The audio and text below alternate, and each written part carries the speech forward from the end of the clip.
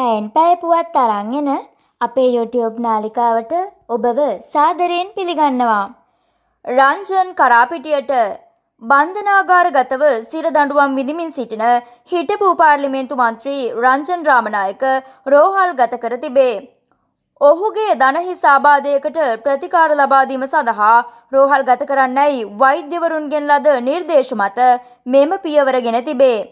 ඒ අනුව ඔහු දින කිහිපයක් කරාපිටිය රෝහලේ නේවාසික ප්‍රතිකාර ලැබීමට නියමිතව ඇත. මේ අතර කඩු මුගුරු කල්ලියක් දේපළ රැසකට හානිකර පලා යයි. යාපනය කෝපායි පොලිස් වසමේ පුත්තූර් ප්‍රදේශයේ නිවසකට තියුණු ආයුධ සමගින් කඩා වැදුණු නාදුන්න පිරිසක් විසින් නිවසේ තිබූ යතුරු පැදිවලට ඇතුළු දේපළ රසකට විසිහය රාත්‍රයේ හානිකොට පලා ගොස් ඇතැයි පොලිසිය පැවසීය. පුත්තූර් ප්‍රදේශයේ පිහිටි නිවසකට විසිහය රාත්‍රියයේ මුහුණු ආවරණ සහිතව තියුණු ආයුධ සමගින් යතුරු පැදිවලින් හය දෙනෙකුගෙන් යුත් පිරිසක් එකවරම කඩා වැදී නිවස ඉදිරිපට තිබූ යතුරු පැදි තුනකට දැඩි හානිකොට නිවසේ තිබූ තවත් දේපළ රැසකට හානිකොට පලා ගිය බවට නිවසියන් විසින් පොලිසියට පවසා ඇත.